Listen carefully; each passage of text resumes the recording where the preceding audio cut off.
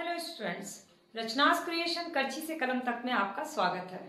आज की वीडियो एक ऐसे टॉपिक के बारे में है, जो किसी भी कॉम्पिटिटिव एग्ज़ाम में जिससे तीन से चार क्वेश्चन कंपलसरी आते ही हैं, चाहे वो ट्रेडिशनल क्वेश्चन हो, यानी कि आयोग का गठन हो, आयोग के मुख्यालय हो, और आयोग से जुड़े आयोग के क्या कार्य और उद्देश्य है या फिर करंट अफेयर्स हो, उन, मैं ऐसे दस आयोग को कवर करवा रही हूँ आज, जिससे हर साल हर प्रतियोगी परीक्षा में क्वेश्चन पूछे जाते हैं स्पेशली प्री के एग्ज़ाम में। तो अगर आप किसी भी तरह के कॉम्पिटेटिव एग्ज़ाम की तैयारी कर रहे हैं, चाहे आरआरबी हो बैंकिंग हो यूपीएससी हो पीसीएस हो एसएससी हो, या किसी भी तरह की एग्ज़ाम की तैयारी कर रहे हैं तो इस वीडियो को पूरा ज़रूर देखिएगा, क्योंकि इससे आपके दो से तीन क्वेश्चन ज़रूर कवर हो जाएँगे। वीडियो अगर आपको अच्छी लगेगी और और भी क्वेश्चंस आयोग से रिलेटेड आपके दिमाग में होंगे तो मुझे कमेंट सेक्शन में कमेंट करके बताइएगा, मैं उसका भी आंसर आपको दे दूँगी। और वीडियो को ज़्यादा से ज़्यादा लोग तक शेयर करिएगा।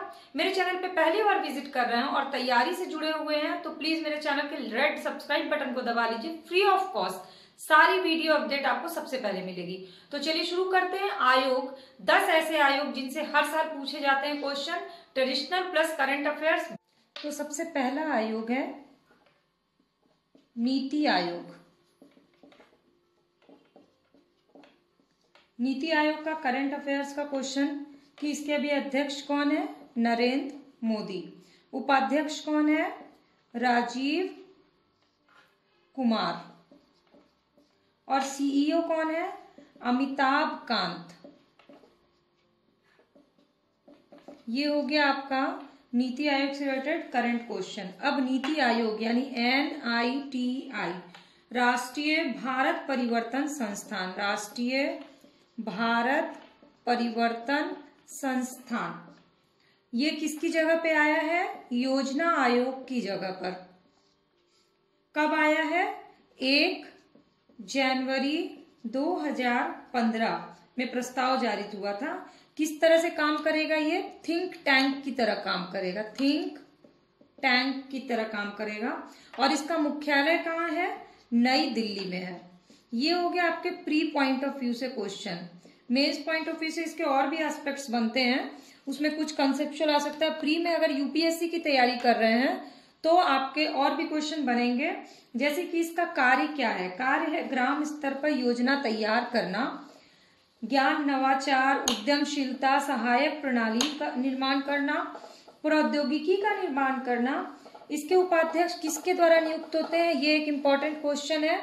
तो उपाध्यक्ष जो है, वो प्रधानमंत्री द्वारा नियुक्त होते हैं और इसमें पूर्णकालीन सदस्य होते हैं। तो ये हो गया आपका पहला नीति आयोग के बारे में। इससे बाहर नीति आयोग से क्वेश्चन नहीं आएँगे। दूसरा है, संघ लोक सेवा आयोग यूपीएससी इससे क्वेश्चन आते हैं पॉलिटी के सेक्शन में स्पेशली जीएस में। तो इसके अध्यक्ष कौन है? पहले करंट का देख लेते हैं।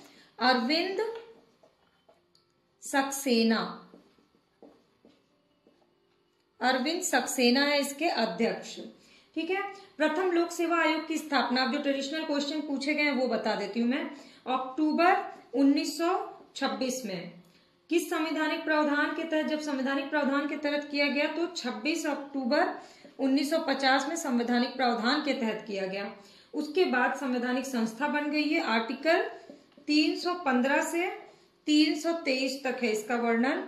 पार्ट कौन सा है? पार्ट है इसका चौदह। संविधान के चौदहवें भाग में। सदस्य कितने होते हैं?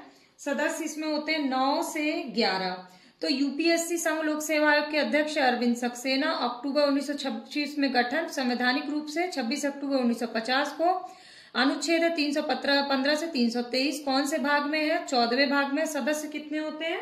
नौ से ग्यारह। ये क्वेश्चंस पूछे जा चुके हैं संघ लोक सेवा आयोग के बारे में। ये हो गया आपका दूसरा आयोग। फटाफट से करेंगे और रिवीजन हो जाएगा इसी बहाने आपका सारा आयोग ट्रेडिशनल करंट अफेयर्स के साथ। तीसरा आयोग क्या है? विधि आयोग। वीडियो अगर देख रहे हैं और आपको यूजफुल लग रही है तो प्लीज़ लाइक और कमेंट ज़रूर करिएगा। विधि आयोग कौन सा है? इक्कीसवा है। इक्कीसवा कौन है इसके अध्यक्ष? बलबीर सिंह चौहान। बलबीर सिंह चौहान। ठीक? अब जरा इसके विधि आयोग के बारे में ट्रेडिशनल जो पूछे गए हैं क्वेश्चन वो देख लेते हैं। तो विधि संबंधी विषय पर महत्वपूर्ण सुझाव देने के लिए विधि आयोग का गठन किया गया।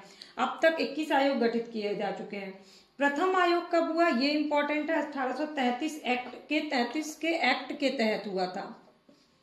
किसका अध्यक्ष कौन थे? मैकाले। लॉर्ड मैकाले, जिन लोगों ने हिस्ट्री पढ़ा होगा, जिन लोगों ने नहीं पढ़ा होगा, दोनों ही के लिए बहुत इंपॉर्टेंट है, मैकाले। उसके बाद, भारत के स्वतंत्रता के बाद कब हुआ? कौन सा आयोग था पहला? तो वो पाँच अगस्त 1955 को बना था जो विधि आयोग, वो था पांचवा आयोग। स्वतंत्रता के बाद जो विधि आयोग बना, वो पांचवा आयोग था, जिसके अध्यक्ष कौन थे? मोतीलाल चिमनलाल। मोतीलाल चिमनलाल, एक ही एक ही में है, का मोतीलाल चिमनलाल। इसी समय supreme court, high court, lower court, ये सब चीज़ें आई। यानी कि पांचवा जो है, वो आपके लिए दो कारण से इंपॉर्टेंट है। एक तो आज़ादी के बाद पहला आयोग था ये, और दूसरा इसी समय lower court high court supreme court ये सारी चीज़ें आई। तो ये हो गया आपका तीसरा आयोग, विधि आयोग। इंपॉर्टेंट है, जो लोग रेगुलर तैयारी करेंगे उनको पता होगा किस आयोग से क्वेश्चन आते हैं। चौथा आयोग क्या है? महिला आयोग। महिला आयोग। इसकी अध्यक्ष कौन है अभी? रेखा शर्मा। अब इसका ट्रेडिशनल जो पूछा गया क्वेश्चन संसद द्वारा 1990 में पारित अधिनियम के तहत जनवरी उन्नीस सौ बानबे में गठित किया गया एक संवैधानिक निकाय, महिला आयोग क्या है? संवैधानिक निकाय है। इसे बहुत बार क्वेश्चन पूछा जा चुका है। आयोग की प्रथम प्रमुख को कौन थी? सुश्री जयंती पटनायक। जयंती पटनायक। इसके अलावा अब तक की जो अध्यक्ष रही हैं, उनका मैं फटाफट से नाम बता देती हूँ। जयंती पटनायक, वी मोहिनी गिरी विभा पारसार्थी पूर्णिमा आडवाणी, गिरिजा व्यास, ममता शर्मा, ललिता कुमार, मंगलम और रेखा शर्मा। इसमें इंपॉर्टेंट आपके लिए है गिरिजा व्यास, क्योंकि ये महिला आयोग की ऐसी अध्यक्ष हैं जो दो बार रही हैं, गिरिजा व्यास। ठीक तो ये महिला आयोग से रिलेटेड ट्रेडिशनल क्वेश्चंस हो गए आपके। अभी रेखा शर्मा और गिरजा व्यास जो है वो दो बार रह चुकी हैं। अब चौथा आयोग हो गया, अब देख लेते हैं पांचवा। वेतन आयोग। तो अभी कौन सा आयोग है? सातवां वेतन आयोग है। कौन है इसके? अशोक कुमार माथुर।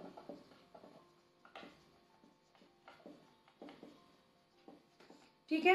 प्रथम आयोग कब गठित हुआ था? 1946 में, जिसके अध्यक्ष है श्रीनिवास वारदाचर्य। इस आयोग में न्यूनतम आय को कितना किया गया था? पचपन रुपया प्रतिमा और अधिकतम को किया गया था दो हज़ार रुपया प्रतिमा। आज़ादी के 10 साल बाद दूसरा आयोग गठित हुआ। ये क्वेश्चन इंपॉर्टेंट है। उन्नीस में जिसके अध्यक्ष थे जगन्नाथ दास। ये इंपॉर्टेंट क्वेश्चन है। जगन्नाथ दास 1970 में तीसरा बना था, वो है थे रघुवीर दयाल। चौथे आयोग की सिफारिश के आधार पर देश में पहली बार सशक्त बलों के अधिकारियों के लिए रैंक वेतन की अवधारणा लागू किया गया था। हालाँकि बाद में इसे सुप्रीम कोर्ट ने अवैध घोषित कर दिया था। इसके अध्यक्ष थे पी एन सिंघल। चौथा थे P N Singhal, P N Singhal. पांचवे के थे जस्टिस रत्नवेल पांड्या। ये इतने इंपॉर्टेंट नहीं है। छठा भी बी एन श्री कृष्ण उत्तर लेकिन सभी वेतन आयोग में सबसे ज़्यादा सैलरी में प्रतिशत वृद्धि किसमें हुई? ये इंपॉर्टेंट है, ये चौथा है।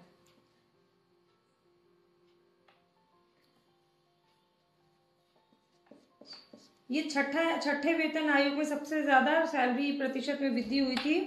इसके अलावा इंपॉर्टेंट है आपके लिए कि इस बार का अधिकतम कितना है और मिनिमम कितना? न्यूनतम वेतन इस बार का अट्ठारह हज़ार और अधिकतम है दो लाख पच्चीस हज़ार। तो ये पाँच आयोग मैंने आपको इम्पोर्टेंट बता दिए। नीति आयोग, संघ लोक सेवा आयोग, विधि आयोग, महिला आयोग और सातवा वेतन आयोग। आगे का ये सेकंड पार्ट में पाँच आयोग और बताएँगे तब तक कमेंट सेक्शन में कमेंट करके इससे रिलेटेड कोई क्वेश्चन होगा तो आप उसे मैसेज करिएगा।